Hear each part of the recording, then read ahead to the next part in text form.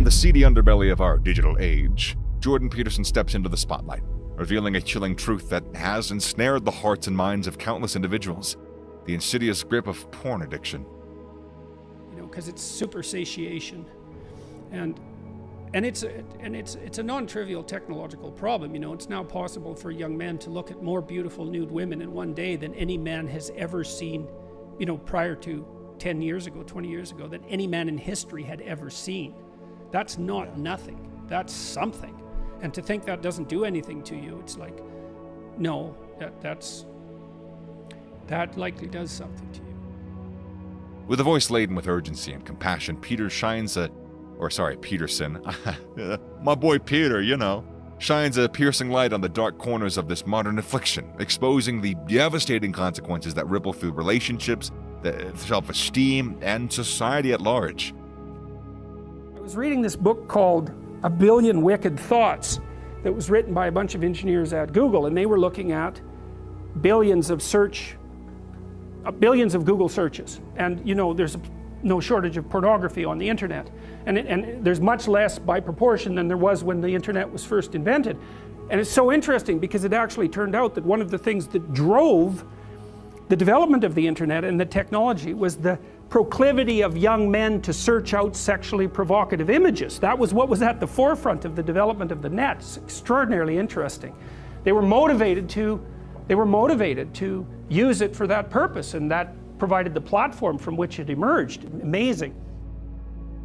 Well, yeah, that's the question, isn't it? You know, if you're masturbating to pornography and the consequence of that is an immediate influx of guilt, then you have to ask yourself who's in control. And that's a really important question who's in control.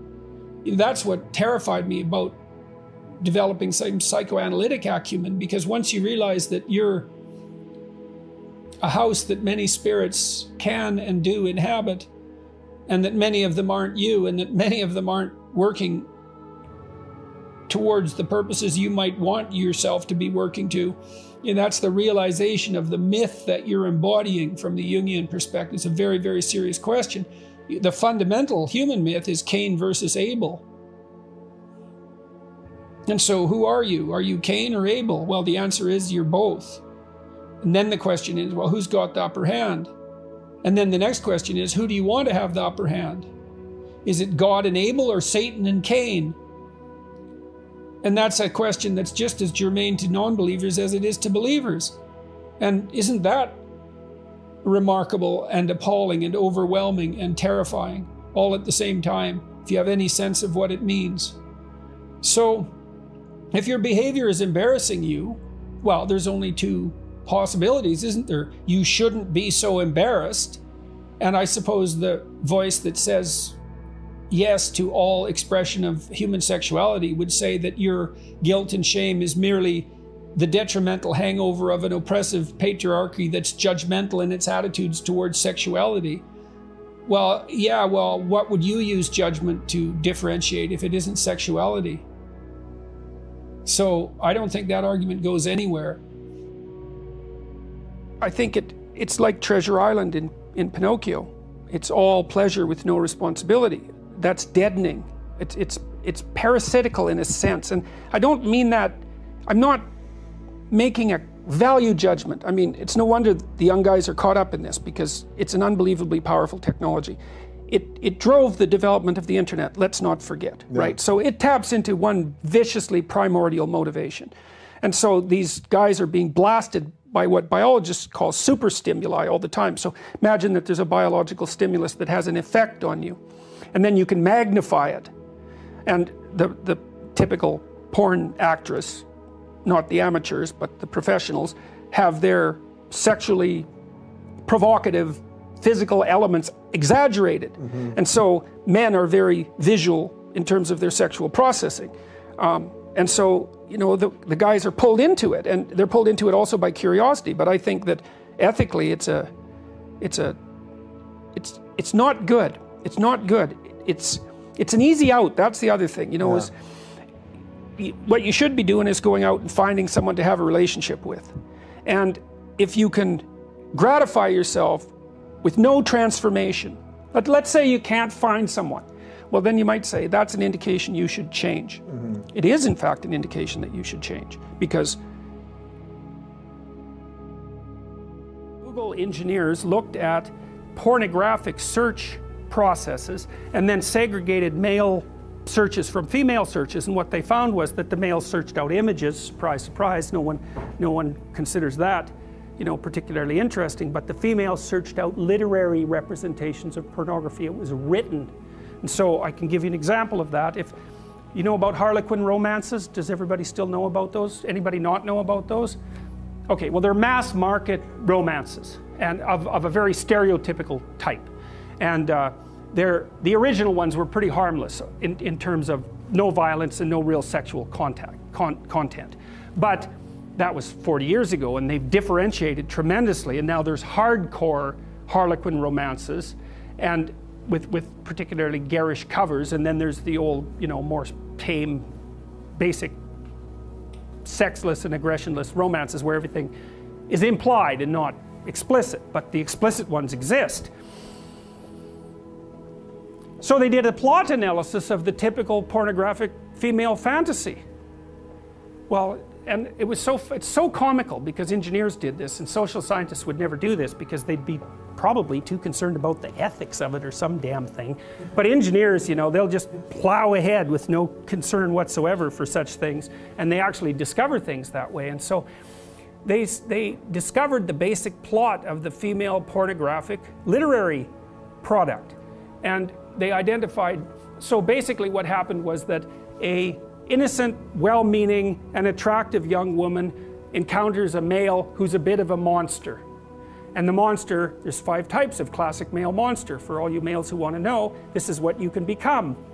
Vampire, that's a good one. Werewolf, billionaire, pirate, and surgeon.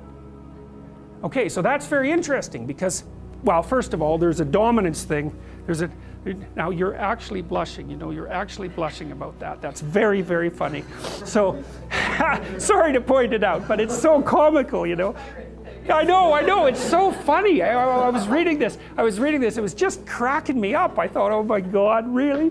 Pirate, vampire. Oh, that explains it. What about all these damn vampire shows, right? They're so popular online. They're so popular on Netflix. Oh, yes. And then there's the werewolf. There's nothing sexier than a werewolf, apparently.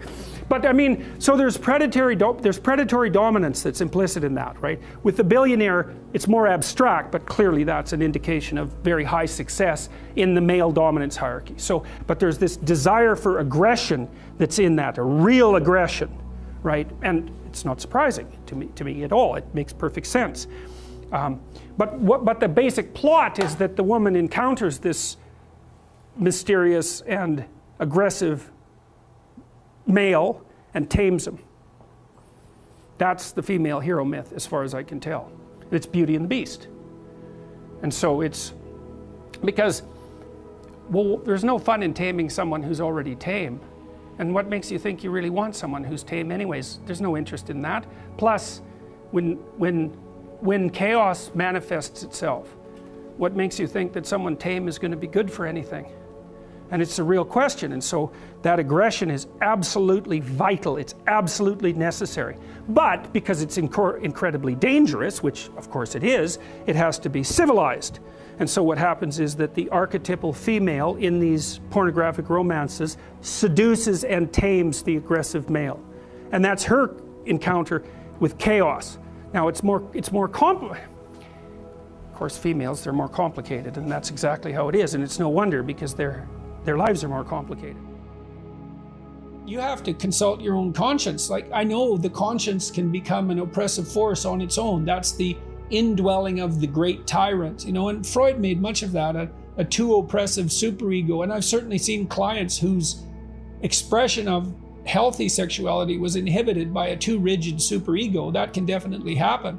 But that doesn't mean that all guilt about all forms of sexual expression constitutes a superego run amok.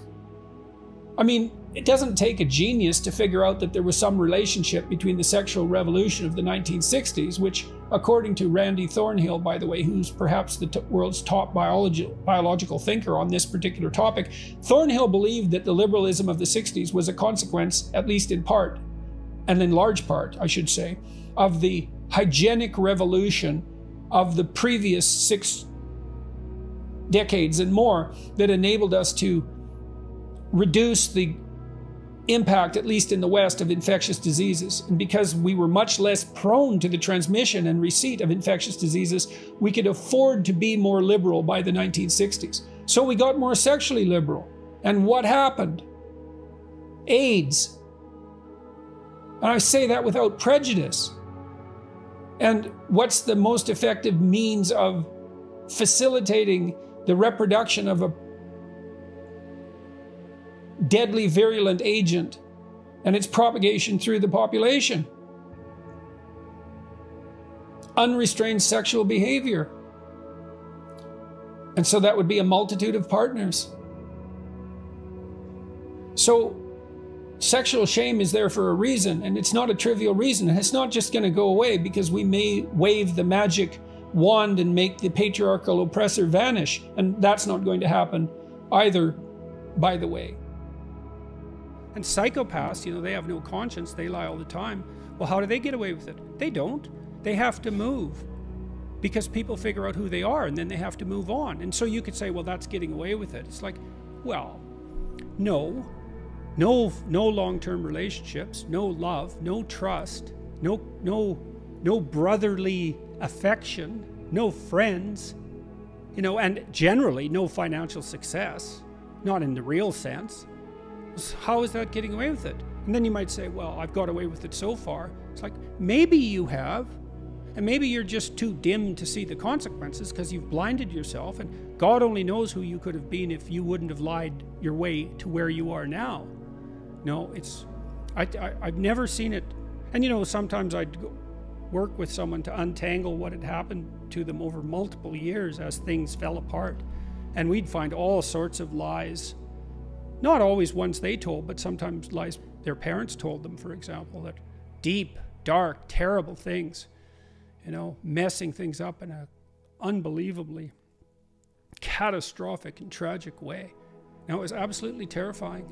But I, I can't see how it just doesn't make sense. It's like, how could you possibly defend the idea that you could warp the structure of reality and get away with it? I mean, who, who, like I said, who do you think you are?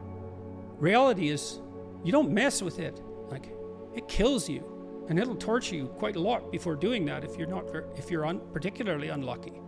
So beware. You know they say the fear of god is the beginning of wisdom.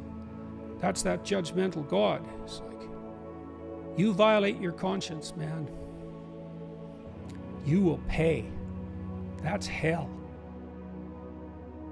If you're ashamed about your sexual behavior then you have to ask yourself is the shame wrong or is the sexual behavior wrong? And I'm asking you, I'm not judging your behavior because what the hell do I know about you? And I have enough trouble with my own behavior. So, you know, this is on you. Is your shame what you should be dispensing with or the behavior? And, you know, it might be a little of column A and a little of column B because life is never simple. But if you don't feel ennobled by your porn related masturbation, then perhaps that means it's of questionable utility. I certainly don't see it as a stabilizing social force. I don't see it as something people do in public and, and brag about. And, and I know that sexual behavior is private and should remain that way, but you, you get what I'm driving at. So, look, I think people shouldn't lie, especially to themselves. And I think repeatedly engaging in a behavior that you judge yourself to be morally reprehensible is a form of performative contradiction, which is the acting out of a lie. And I suspect you know that, or you wouldn't be asking the question.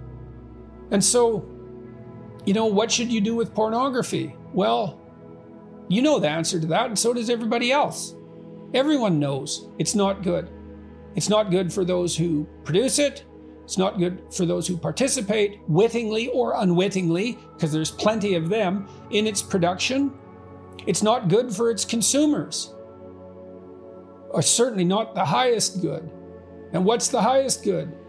Sexuality incorporated within a functional, intimate relationship, bound by vows of mutual celibacy. And we all know that too. That stabilizes our families, it stabilizes our societies, it stabilizes our psyches. And so anything you do that isn't in service of that goal is likely to be counterproductive. And I suspect it's your own psyche, your own soul telling you that. So,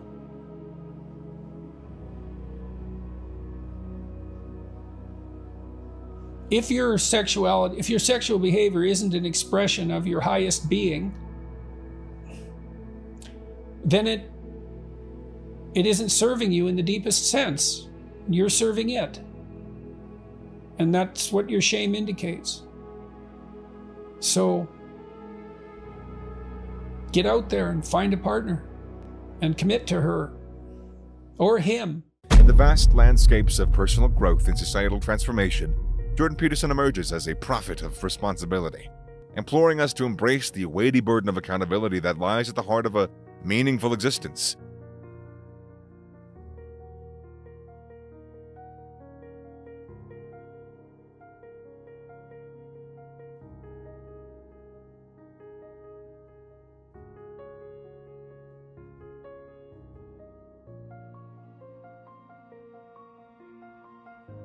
With an unwavering conviction, Peterson unearths the profound truth that the path to self actualization and societal harmony begins with the resolute commitment to take ownership of our actions.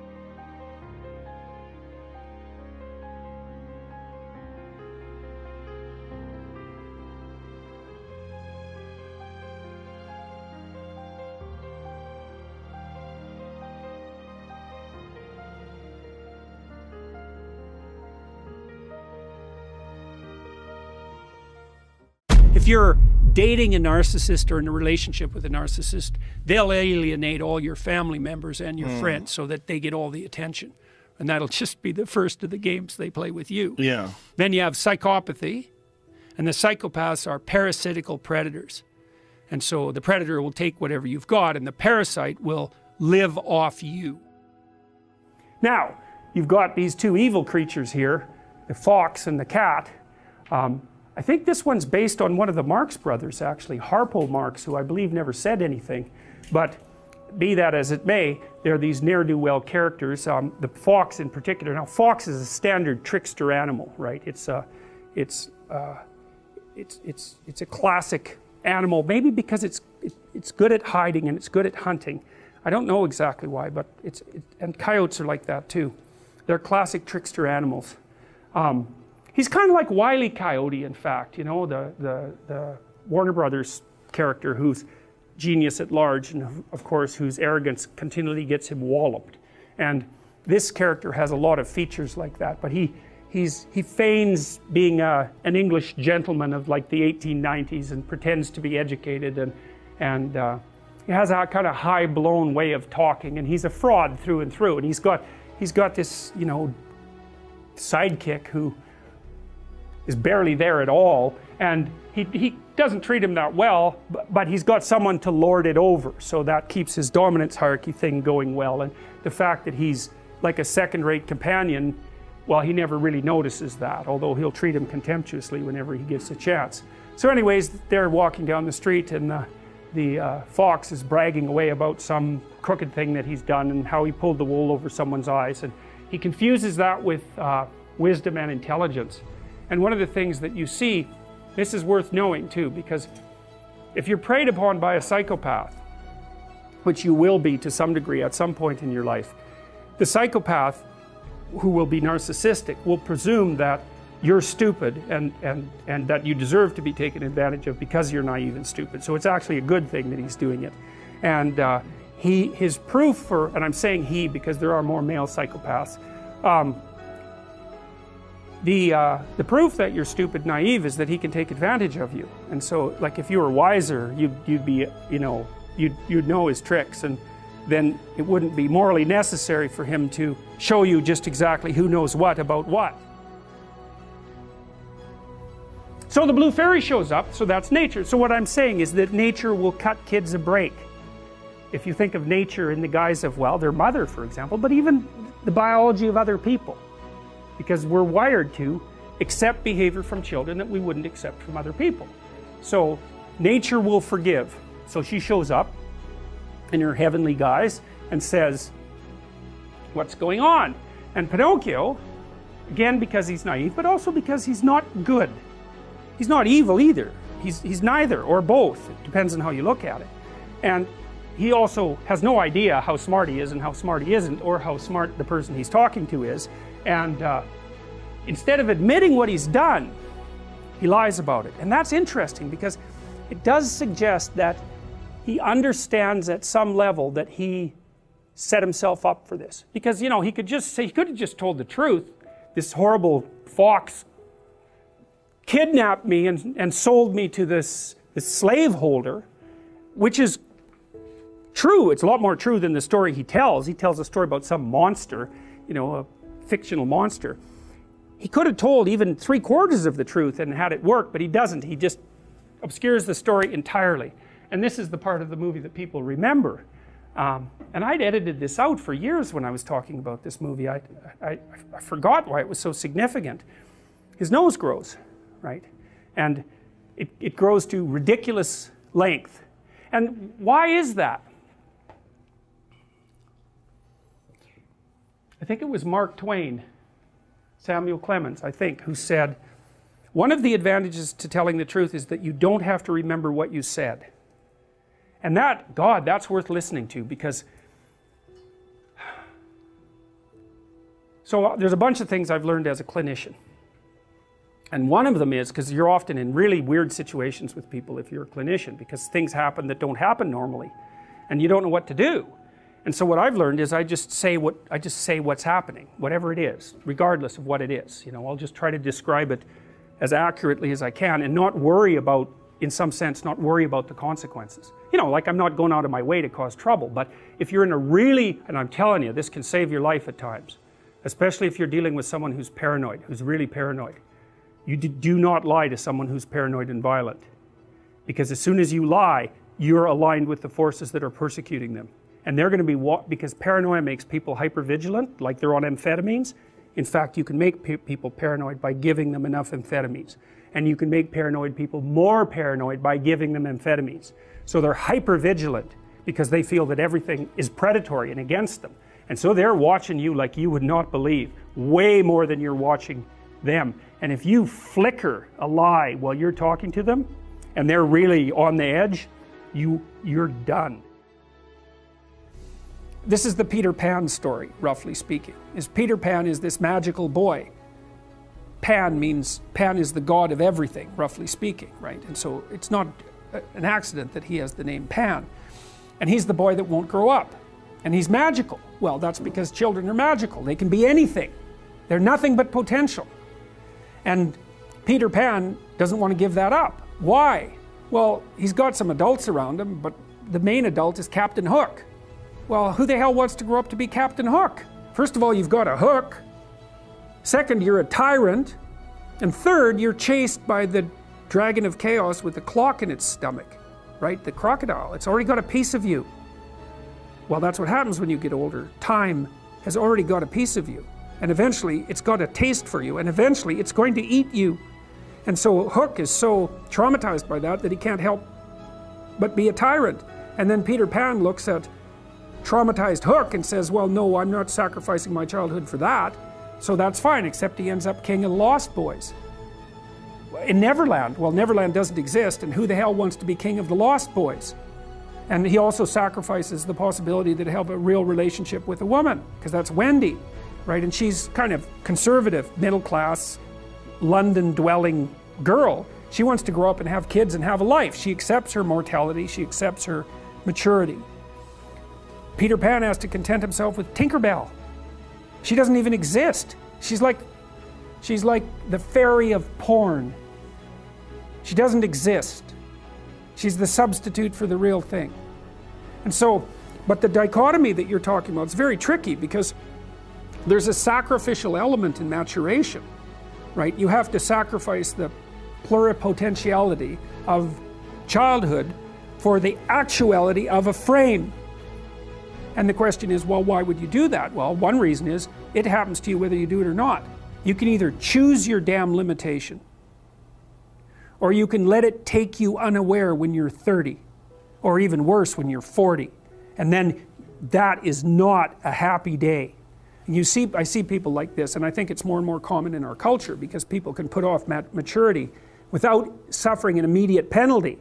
But all that happens is the penalty accrues and then when it finally hits, it just wallops you because when you're 25, you can be an idiot. It's no problem. Even when you're out in a job search, it's like, well, you don't have any experience and you're kind of clueless. It's, yeah, yeah, you're young. You know, it's no problem. We can, that's what young people are like, but they're full of potential. Okay, well, now you're the same person at 30. It's like people aren't so thrilled about you at that point. It's like, what the hell have you been doing for the last 10 years? Well, I'm just as clueless as I was when I was 22. It's, yeah, but you're not 22. You're an old infant, right? And that's an ugly thing, an old infant. And then here's a parasitical ideological statement property is theft, a classic Marxist trope. Why would you say that? Well, if I want to live off you, the way I'm going to justify that ethically is by claiming, well, you know, Joe, look how privileged you are. You've got all this money. You just you just took that from the oppressed and if I'm manipulating you so that I get some of your money, that's only just because, first of all, it's, exactly what you did. And second of all, well, why not spread some of that wealth around? So that's Machiavellianism, narcissism, and psychopathy, dark triad. They've expanded that recently to add another dimension that was missing sadism. And the sadist takes positive delight in causing pain to others. And the lulz culture, L U L Z, the lulz culture online, is a culture of sadistic, Machiavellian, narcissistic psychopaths. He's lying, and I'm not. So that's a big part of the that's a big part of the issue. I don't believe that he ever says a word that's true. from what I've been able to observe. It's all stage acting. He's crafted a persona, he has a particular instrumental goal in mind, and everything is subordinated to serve that. Why? So, What's the motivation? Uh, the same motivation that generally that's generally typical of people who are narcissistic, which is to uh, be accredited with moral virtue in the absence of the work necessary to actually attain it. All right. From, He's playing a role. From you know the swastika thing. It's like really just about Canadians. Really, we're going to be worried about Nazis in Canada because I had protests, for example, where people accused me of attracting Nazis. is First of all, that just isn't a thing in Canada. There isn't a Nazi tradition. And I don't know anyone in Canada who's ever met anyone who's met someone who was Canadian who, and who was a Nazi. And so that's just a non starter. And so when that sort of thing gets dragged into the conversation, right off the bat, you know, the Canadians shouldn't be subjected to the inherent violence of a swastika. First of all, it's not even obvious what that swastika was doing there there's, a, there's reasonable evidence to suggest that the person who was waving it was either a plant or someone who was making the comment that that was what was characteristic of the government, not of what they believed. Now, no one knows because the story around that event is messy, and uh, it's not like there were credible journalists who were going in there to investigate thoroughly. But to use that uh, and the Confederate the Confederate flag issue is exactly the same thing. It's, it's one thing to really know if you're ever in a really bad situation and you don't know what to do. You tell the truth minimally. You don't disclose too much. That's just another lie. You tell the truth minimally and carefully and hopefully. And you might get out of it. You might get out of it. But if you falsify it, look the hell out. So the truth is a real is a real mechanism of protection in dangerous situations. You know, so if someone's trying to intimidate you and you, you think they might get violent and they ask you if you're afraid, then you tell them that you're terrified and that you hope that things will go okay. Or you say,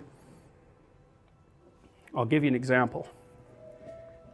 One time I was in an airport and uh, we were in this lineup to fly back to Canada that said international flights. And so it was a long lineup, like 50 people. And we got a, I got about three from the front. There were still like 40 people behind me. And the guy behind the counter decided that he was just going to shut down the line and that we could all go to this other line, which was like 300 people long. And I suggested that he not do that because we'd been standing there for half an hour and that he could just deal with the 20 of us that were left and, and like have a clue. And so he called the sheriff right away.